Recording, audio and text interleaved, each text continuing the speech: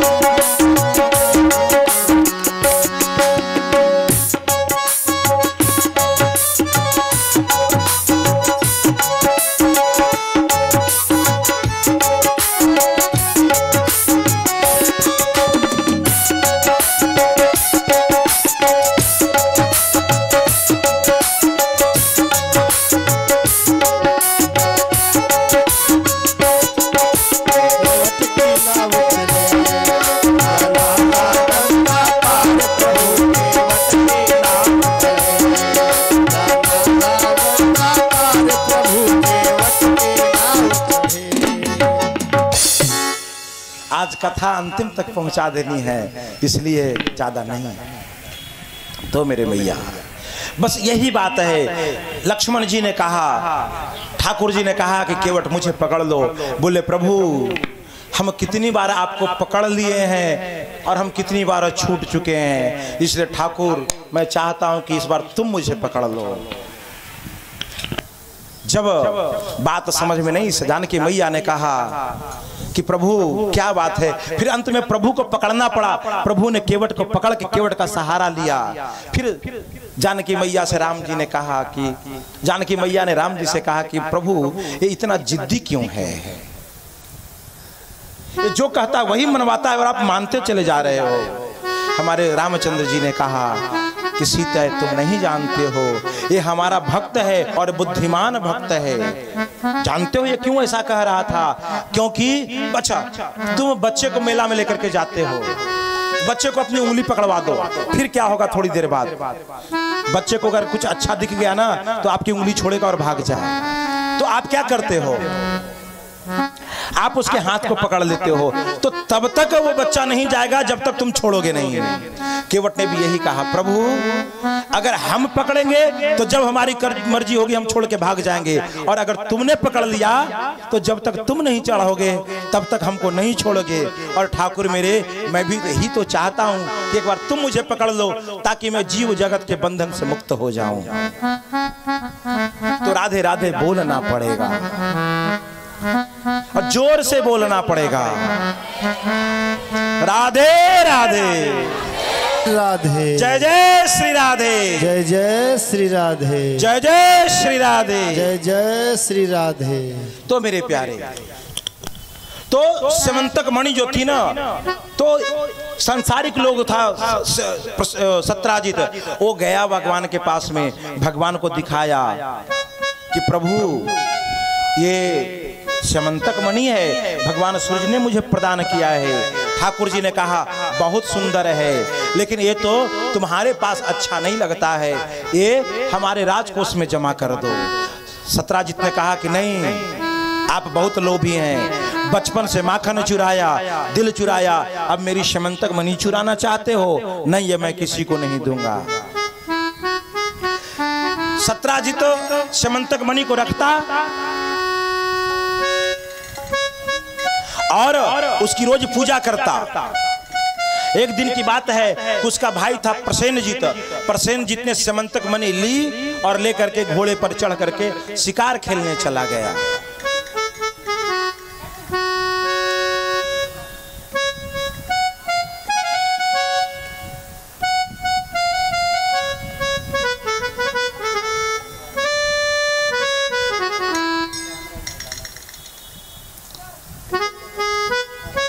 आप बोलो।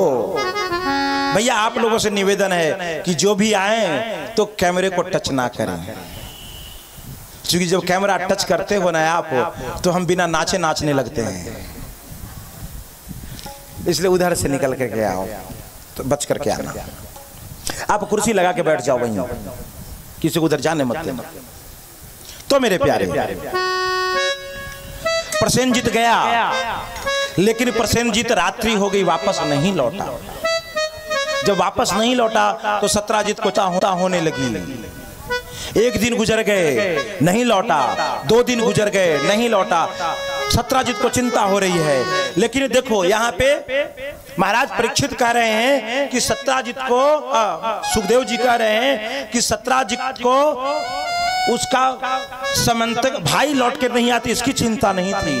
उसको तो इस बात की चिंता थी कि हमारा समंतक मनी लेकर के चला गया है।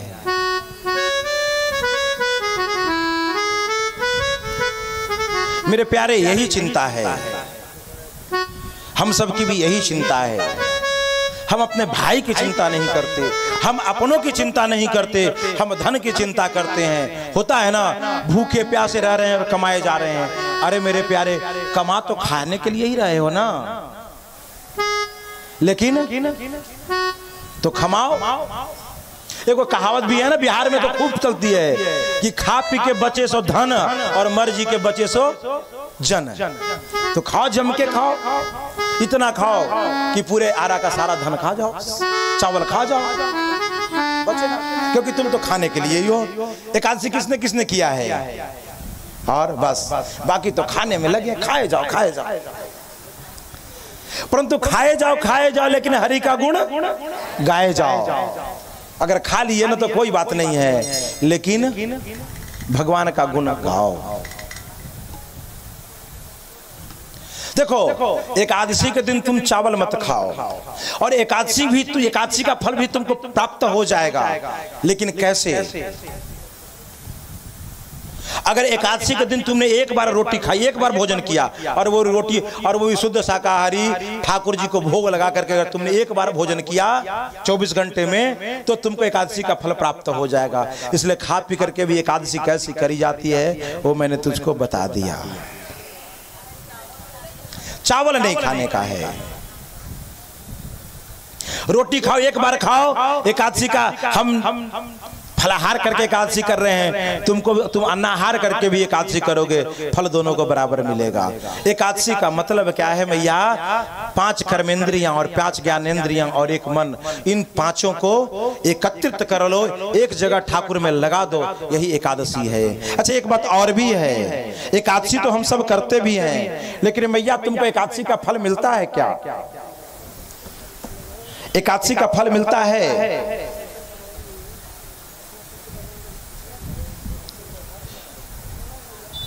नहीं मिलता है।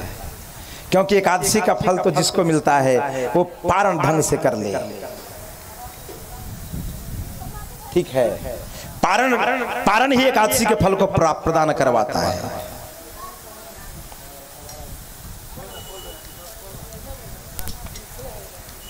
और पारण मतलब दूसरे दिन जो हम लोग करते हैं भोजन। दूसरे दिन जो भगवान का जब एकादशी समाप्त होती है ना, द्वादशी को तो द्वादशी को जब आप पारण करते हो ना तो वो अगर ढंग से आपने कर लिया तो आपको एकादशी का फल प्राप्त हो जाता है। और अगर उसमें कुछ कमी रह गई तो आपको एकादशी का फल प्राप्त नहीं होता। ऐसे तो अनेक अनेक मास में अनेक अनेक प्रकार के